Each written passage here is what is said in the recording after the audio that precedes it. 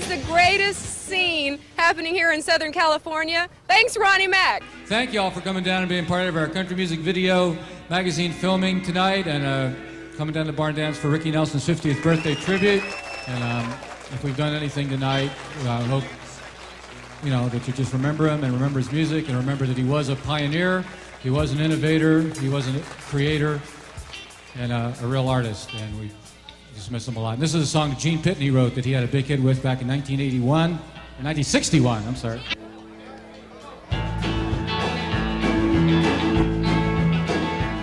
Hello, Mary